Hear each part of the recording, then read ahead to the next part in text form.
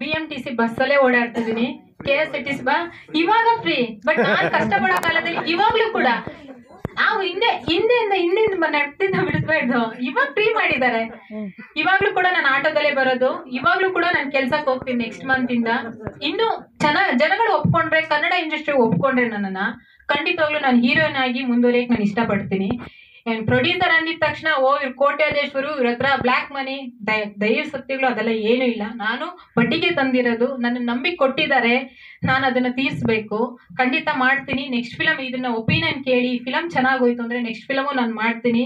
ಒಂದು office open ಮಾಡ್ತೀನಿ. ಇಂಥ ಇವಾಗ ನಾನು ಈಗ ನಮ್ಮ ಟೀಮಲ್ಲಿ ಎಲ್ಲರಿಗೂ ಹೇಗೆ ಕೆಲಸ ಕೊಟ್ಟಿದ್ದೀನೋ, ನನ್ನ ಫ್ಯೂಚರ್ ಲೈಫಲ್ಲೂ ನಾನು ತುಂಬಾ ಜನ ಕೆಲಸ ಕೊಡಬೇಕು. ಯಾಕಂದ್ರೆ ತುಂಬಾ ಕಷ್ಟಪಟ್ಟು ಬಂದಿದ್ದೀವಿ ನಾವು. ನಾವೇನೋ ಇದು, ಏನೋ ಆಟ ಆಡ್ಕೊಂಡು ಕಾರಲ್ಲಿ ಹೋಗ್ಕೊಂಡು ಅಲ್ಲ, ನಾನು ಓದಿದ್ದಲ್ಲ ನಾನು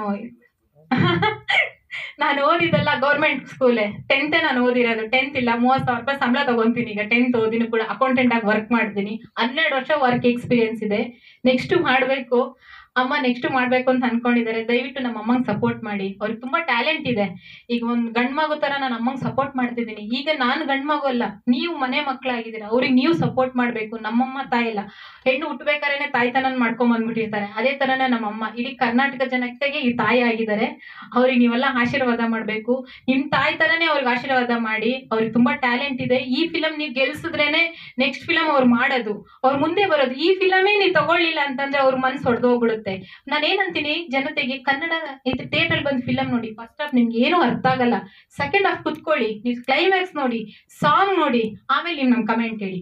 ಫಸ್ಟ್ ಹಾಫ್ ಅಲ್ಲ ಸೆಕೆಂಡ್ ಹಾಫ್ ನೋಡಿ.